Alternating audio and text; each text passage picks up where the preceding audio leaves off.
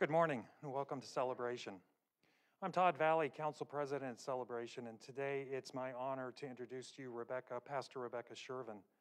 Um, Pastor Kyle is out doing a wedding abroad on some um, fantastical trip, I am sure, if Kyle was involved.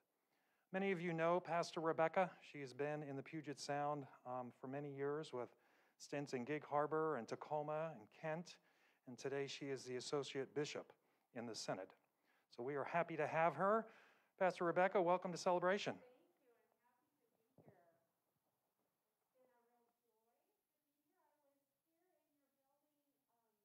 One time, uh, it would have been probably a year and a half ago when, pa- when Deacon Megan Phillips was um, ordained. And so um, that time when I came, I got lost on my way because I didn't use my GPS, but today I found you right away. So, so it's good to be with you today. Um, I had a wonderful time getting to know people at the first service, and I hope we have a time to chat as you leave today. It is the day of Pentecost, and so it's the day that we celebrate the gift of the Holy Spirit and the way that the Holy Spirit continues to be poured out upon us. I think this is a special day of celebration, especially when we think of what we've been through over the last year and a half as church and God's faithfulness. One of the things we're taught that the Spirit does is gathers us. And it just, as we're able to gather more, I just am so thankful for God's continuing um, breath that, that blows us together and gathers us and keeps us in the church. So we're going to be celebrating that today. Are there any special prayer requests that you would like included in the prayers later in the service?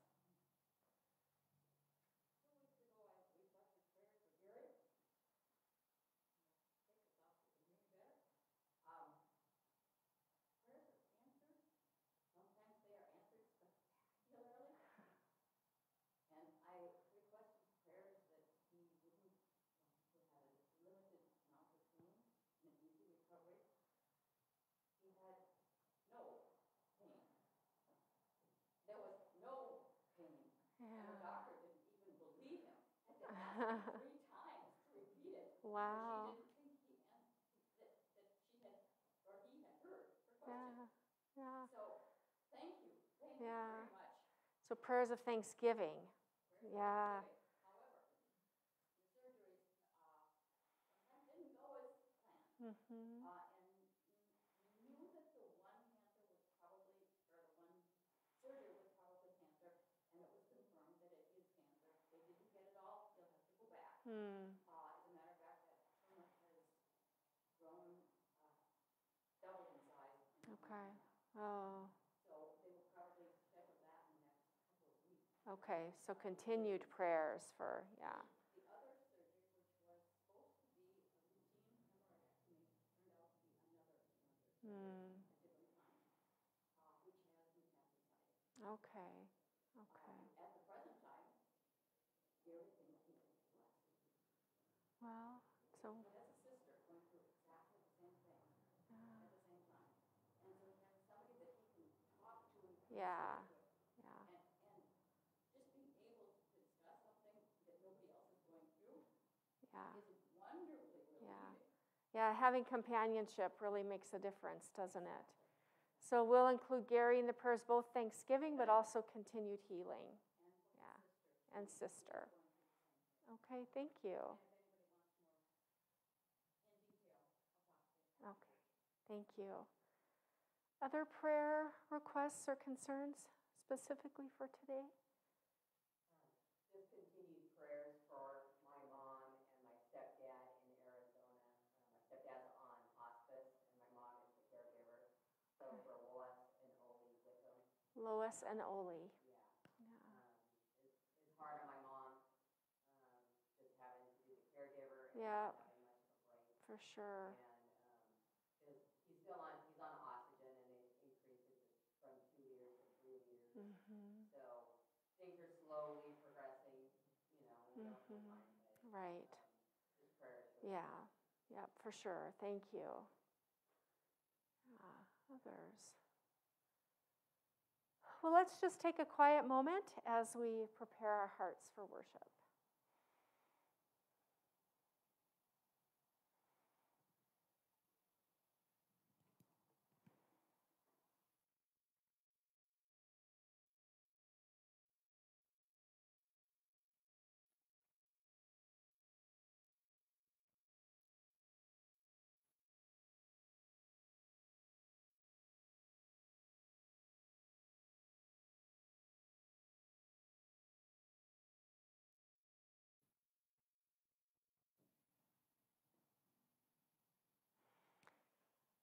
I invite you to stand if you are able as we join in our litany for Pentecost.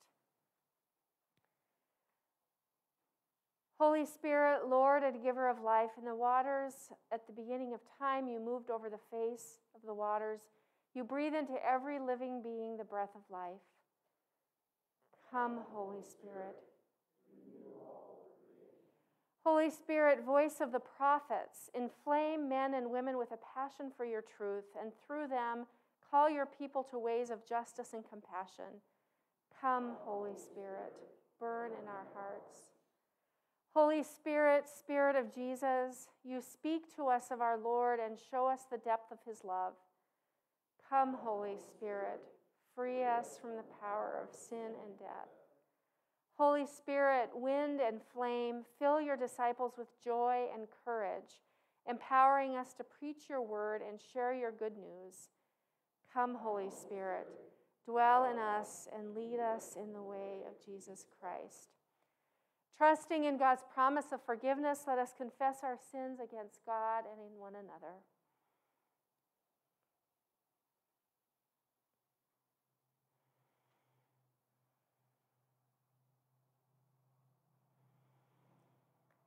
Most merciful God, we confess that we are captive to sin and cannot free ourselves. We have sinned against you in thought, word, and deed, by what we have done and by what we have left undone. We have not loved you with our whole heart. We have not loved our neighbors as ourselves. For the sake of your Son, Jesus Christ, have mercy on us. Forgive us, renew us, and lead us so that we may delight in your will and walk in your ways to the glory of your holy name. Amen. In the mercy of Almighty God, Jesus Christ was given to die for us, and for his sake, God forgives us all our sins. As a called and ordained minister of the Church of Christ, and by his authority, I therefore declare to you the forgiveness of all your sins. In the name of the Father, and of the Son, and of the Holy Spirit. Amen. You may be seated. Let us pray.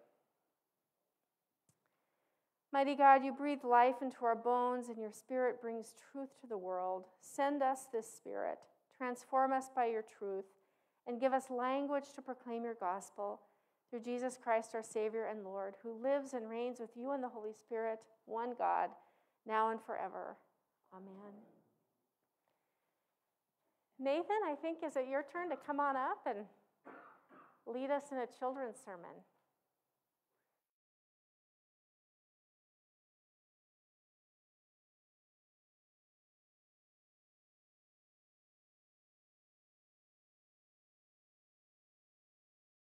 Just checking to make sure the mic is working. All right.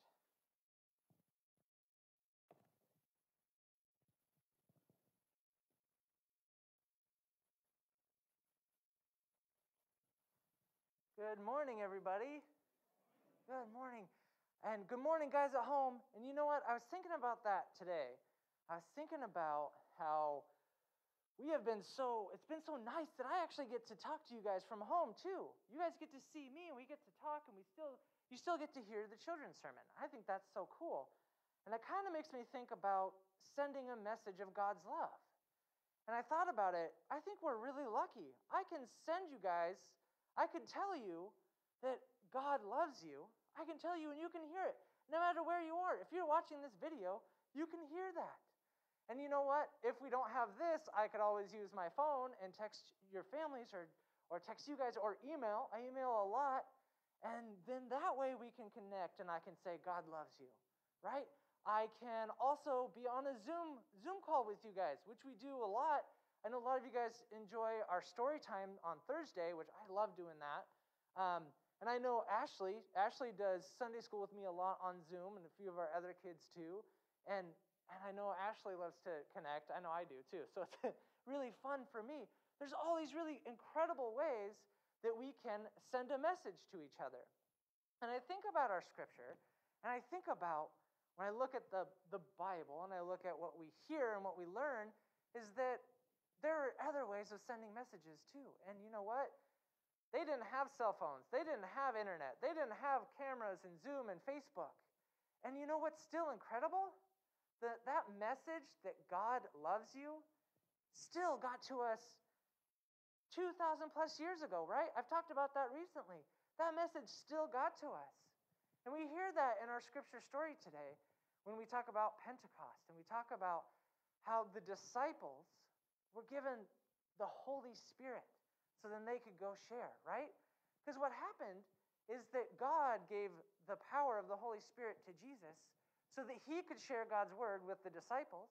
And Jesus did that very well. And then the disciples, they received that Holy Spirit too. And they were able to share it with so many other people. And they didn't have Facebook, they didn't have text messaging. And they still were able to share this incredible message that we all know and that I can share with you and that we can all share with each other. And I hope that you guys can share with others. And that message is that God loves you. God loves you so much and cares about you and all of us, no matter who we are, no matter where we come from, no matter what language we speak, no matter how we look. God loves each and every one of us. And that's the message that we can share with others that God loves you. And that's what the disciples did. So we can be like the disciples and learn how to do that with others. Isn't that really cool? I think that's really cool. I think that's a really exciting thing. So I want us all to think about sharing that message of love. Okay, so we're going to go ahead and close in prayer. And everyone here can help me because you know what? When we when you guys say back what I say, we're sharing that message of God and we're sharing that love. And you guys at home can do it too. Are we ready? Here we go. Dear God, Thank you for the disciples who taught others how to receive your Holy Spirit, just like Jesus taught them. Help us to share your love like the disciples. In your name we pray. Amen. All right, thank you guys. Thank you guys at home. We'll see you later.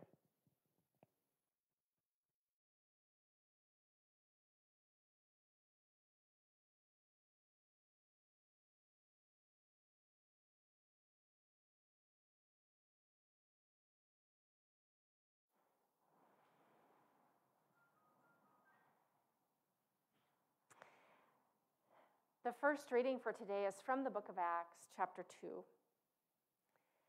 When the day of Pentecost had come, the apostles were all together in one place. And suddenly from heaven there came a sound like the rush of a violent wind, and it filled the entire house where they were sitting. Divided tongues as of fire appeared among them, and a tongue rested on each of them. All of them were filled with the Holy Spirit and began to speak in other language as the Spirit gave them ability. Now there were devout Jews from every nation under heaven living in Jerusalem, and at this sound the crowd gathered and was bewildered, because each one heard them speaking in the native language of each. Amazed and astonished, they asked, Are not all these who are speaking Galileans? And how is it that we hear each of us in our own native language? Parthians, Medes, Elamites, and residents of Mesopotamia, Judea and Cappadocia, Pontus and Asia, Phrygia, Pamphylia, Egypt, and parts of Libya belonging to Cyrene, and visitors from Rome, both Jews and proselytes, Cretans and Arabs. In our own languages, we hear them speaking about God's deeds of power. All were amazed and perplexed, saying to one another, What does this mean? But others sneered and said, they are filled with new wine. But Peter, standing with the eleven, raised his voice and addressed them Men of Judea and all who live in Jerusalem, let this be known to you, and listen to what I say. Indeed, these are not drunk as you suppose, for it is only nine o'clock in the morning. No, this is what was spoken through the prophet Joel. In the last days it will be, God declares, that I will pour out my spirit upon all flesh, and your sons and your daughters shall prophesy. Your young men shall see visions, and your old men shall dream dreams. Even upon my slaves, both men and women, in these days I will pour out my spirit, and they shall prophesy. And I will show portents in the heavens above and signs on the earth below blood and fire and smoky mist. The sun shall be turned to darkness and the moon to blood before the coming of the Lord's great and glorious day. Then everyone who calls on the name of the Lord shall be saved. This is the end of our first reading. I invite you to stand as you are able as we hear the gospel reading this morning.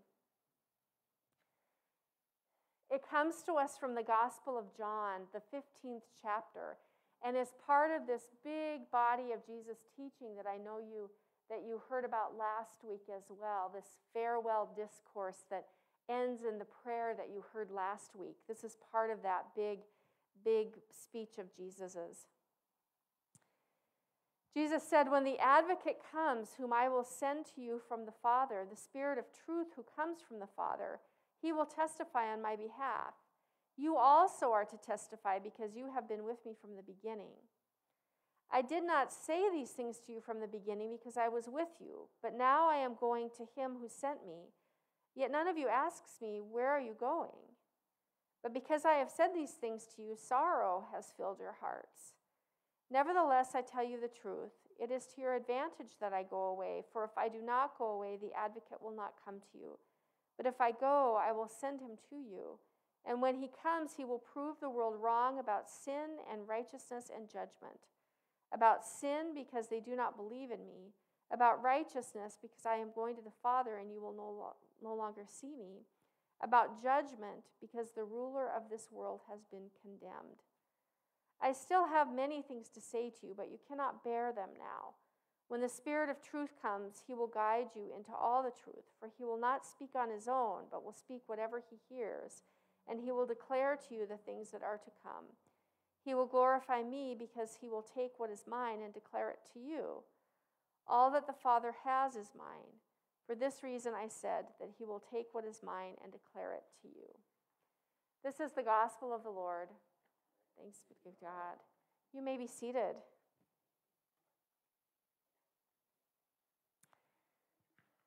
God's beloved people here at Celebration Lutheran, grace to you and peace from God our Creator and from our Savior Jesus Christ. Amen. It's good to be with you on this day of Pentecost, the day that we celebrate the birth of the church. According to the liturgical calendar, Pentecost is one of the three major festivals of the church year. It takes its place right alongside Christmas and Easter. Although I'm guessing that none of you gave each other Pentecost presents this morning. And I'm thinking that you didn't hide Pentecost candy for people to search. And I think we're probably not all headed out tomorrow for the day after Pentecost sales. So, Pentecost is one of those major church holidays that, for the most part, exists within the walls of the church, or I should say, is celebrated within the walls of the church. We tell this story um, from, especially this one from Acts chapter 2, where we find this event taking place in Jerusalem when some of our ancestors were gathered 2,000 years ago. Now, we're told they're gathered on the day of Pentecost. For Jews, that was actually the holiday called Shavuot.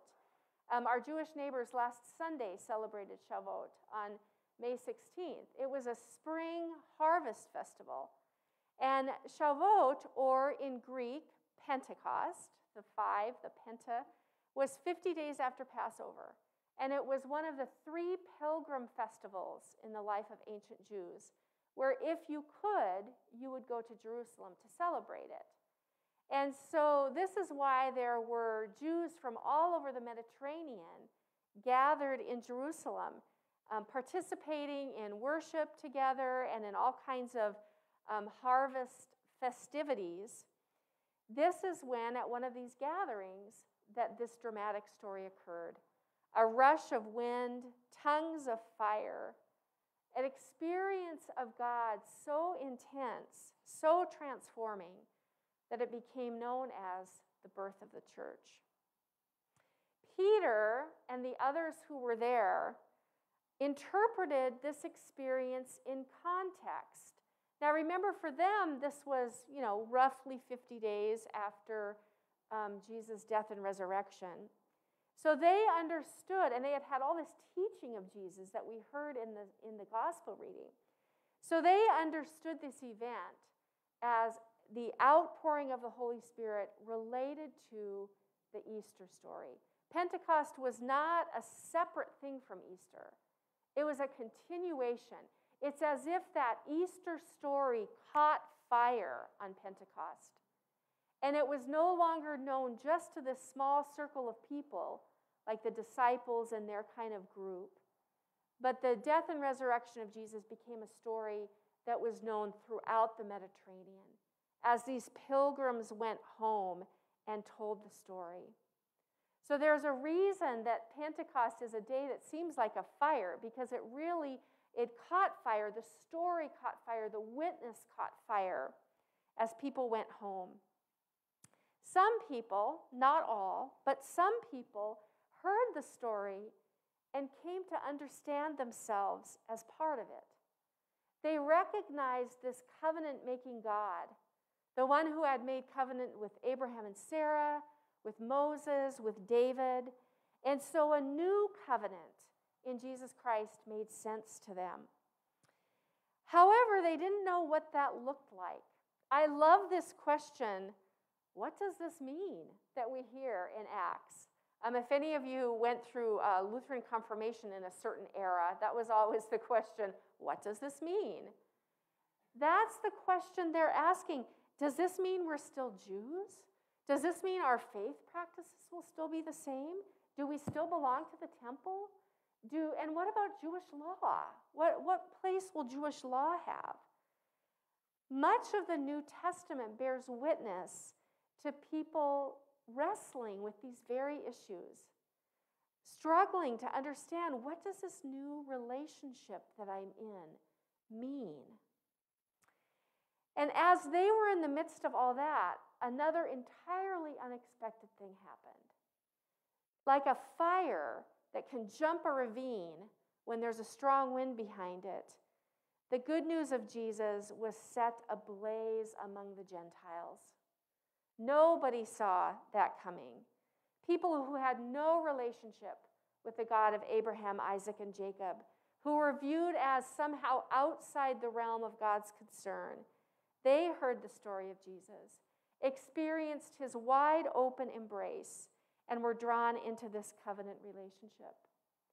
They began to understand themselves as people grafted on to the vine of Christ. And they too were filled with questions. What does this mean? Does this mean we're Jews? Are we some sort of weird hybrid of faith traditions? What cultural practices, like what we eat, um, uh, who, we, who we spend time with, what cultural practices do we get to hang on to, and what do we need to surrender? How have we been changed because of this relationship with Christ? The birth of the church, when you read the New Testament, was not like flipping on a light. It wasn't just flipping on a switch. Birth is not like that. It is messy and painful and can be long. And any parent will tell you, if they're honest, that you make stuff up as you go. The birth of the church is a story of very real human beings struggling to make sense of this message that had claimed them, of this relationship with the risen Christ that had redefined their lives and their understanding of themselves. Paul described this birth as not being only about people, even. Remember when he writes, We know that the whole creation has been groaning in labor pains until now, and we ourselves who have the first fruits of the Spirit. Throughout all of the early Christian writing we have, we see how Christians, guided by the Spirit, are trying to imagine what it means to be the body of Christ. I don't know that it's that different today. I don't think that it is. We do have 2,000 years of teaching. We have theology, we have doctrine, we have the history of how other Christians have lived. And I find much of that work inspiring. But Pentecost brings me back to the primal experience of the Spirit's work in my life and in our life. The Spirit continues to come to us and to set the Easter story on fire. And it continues to stir in us and make us ask questions. What does this mean? What does it mean that we have been baptized into the death and resurrection of Jesus? Could it mean that before any other label is put on us, male, female, conservative, liberal, homeowner, renter, gay, straight, before any other label is placed on us, we are children of God. That that is a primary identity. Could this be what that means? What does it mean that we are called to bear witness to Christ in the world? Could it mean that we are part of something so much bigger than our own individual stories? That you and I are actually part of the ongoing work of God, the creative and healing work of God in the world? And that we have been given gifts to do this work? Could that be what it means? What does it mean that we are part of the church? We are not joiners, after all, here in the Pacific Northwest. We are rugged individualists and we like to march to the beat of our own drum. But could being part of the church mean that I do not have to walk this path of faith alone? That I walk it with other sinner saints who are also struggling to follow Jesus in their daily life and to wrestle with questions? Could it be that it means that the Spirit continues to gather us together? That the same Spirit who breathes in me is the Spirit who breathes in you? And that's actually what we have in common. That is what our common life is. Pentecost is a day for these big questions. We join a long line of people, a great cloud of witnesses who have, prompted by the Spirit, interpreted and reinterpreted the good news of Jesus Christ, who have brought this story into languages, so many languages we, we can't even imagine, who have figured out in their own cultural context what it means to follow Jesus. Through all of this, the Holy Spirit continues to blow into us, to hold us in covenant with Jesus Christ, to call us, to gather us, to enlighten us, and to make us holy. And then after we are gathered, the Spirit blows us out and scatters us. Scatters us to be the body of Christ in the world, to bear Christ in word and deed, so that others come to know of God's redeeming love. We are gathered and we are scattered so that all will come to know this gracious God in whom we live and move and have our being. Thanks be to God. Amen.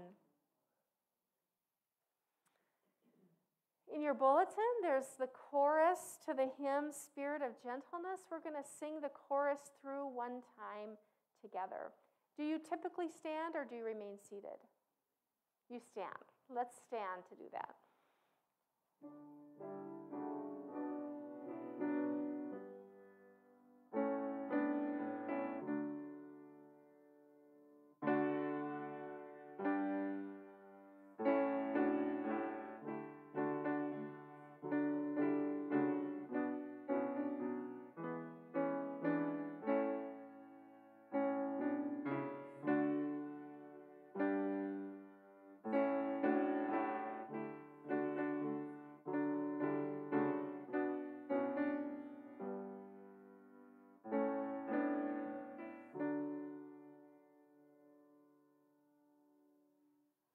Let us confess our faith, the faith of the church, in the words of the Apostles' Creed.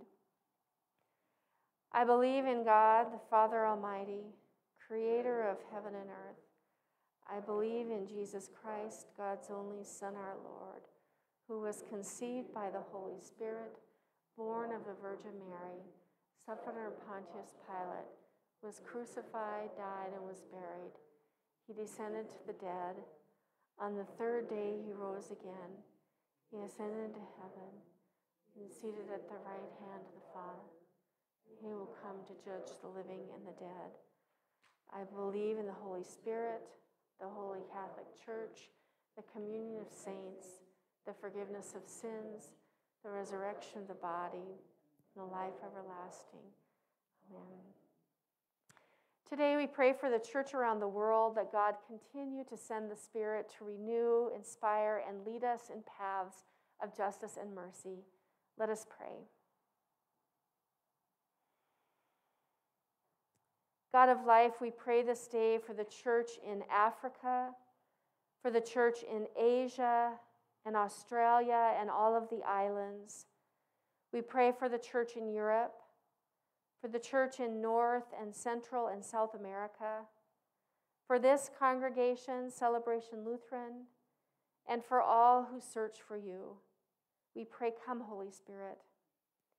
Hear us, O God. Your mercy is great. Bless the lands, the seas, and all your creatures, too numerous to count. Send your lively spirit to renew the face of the whole earth. We thank you that in your wonderful imagination you have created all of the diversity around us. We pray that we would both cherish and that we would care for all that you have created. Hear us, O God. Inspire the leaders of nations to strive for justice and for equality for all. We thank you for the ceasefire in the Middle East. We pray that you would continue to bring peace to Jerusalem, to Israel, to Palestine. We pray that refugees would find a home where they are safe. We pray this day for our legislators, for judges, for all who hold seats of power in government. Grant wisdom to them as they discern how to lead in this time. Unite all people around the world into one human kind of cooperation and care. Teach us respect for those whose language or appearance is different from our own. Hear us, O God.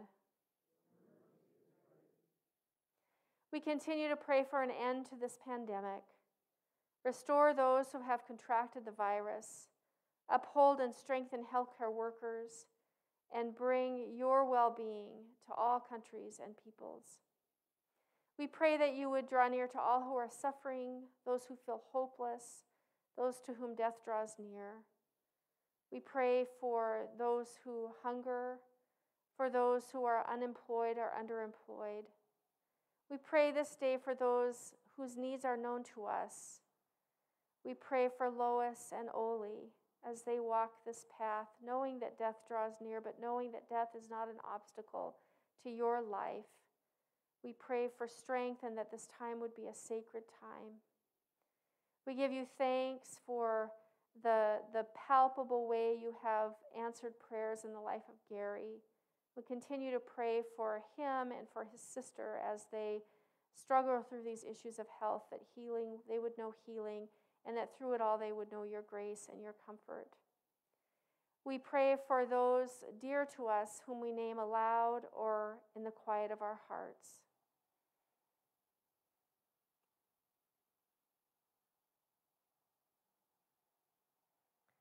Bring us comfort and bring us courage for the living of these days. Hear us, O God. With confidence in your love and with trust in your mercy, giver of life, we offer these prayers through Jesus Christ, our Savior and Lord. Amen. The peace of Christ be with you always. Please share that peace with each other in whatever is your practice here today.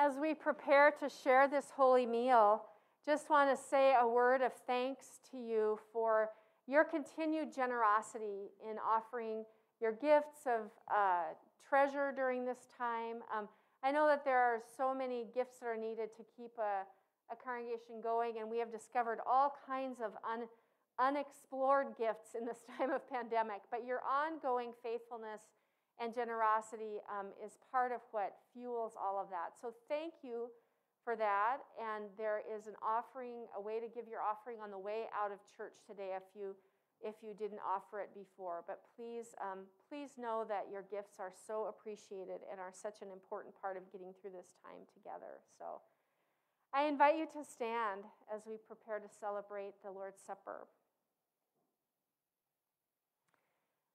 The Lord be with you. Lift up your hearts. Let us give thanks to the Lord our God.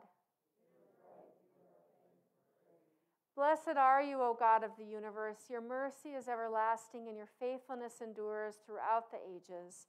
Praise to you for creating the heavens and the earth. Praise to you for bringing the Israelites safely through the sea, for leading them through the wilderness and into the land of milk and honey. Praise to you for the words and deeds of Jesus, your anointed one, for the death and resurrection of Christ. And praise to you for your Spirit poured out on all nations. In the night in which he was betrayed, our Lord Jesus took bread. He gave thanks and blessed it and broke it and gave it to them, saying, Take and eat. This is my body given for you. Do this for the remembrance of me. Again, after supper, he took the cup.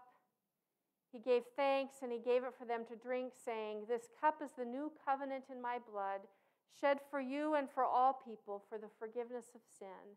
Do this for the remembrance of me. O God of resurrection and new life, pour out your Holy Spirit on us and on these gifts of bread and wine. Bless this feast. Grace our table with your presence. Reveal yourself to us in the breaking of the bread and raise us up as the body of Christ for the world. Breathe new life in us and send us forth burning with justice, peace, and love. Amen. Our Father, who art in heaven, hallowed be thy name. Thy kingdom come, thy will be done on earth as in heaven. Give us this day our daily bread, and forgive us our trespasses as we forgive those who trespass against us. And lead us not into temptation, but deliver us from evil. For thine is the kingdom, and the power, and the glory, forever and ever. Amen. Now I invite you with your communion kit to take your bread. And as you take your bread and eat it, know that this is the body of Christ given for you.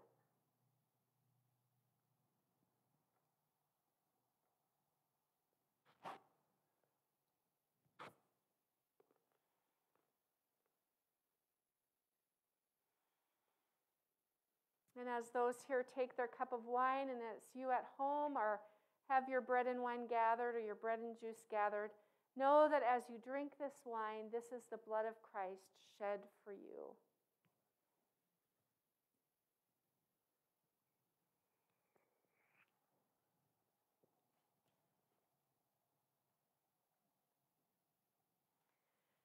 Now may the body and blood of our Savior Jesus Christ strengthen you and keep you in his grace, now and forever.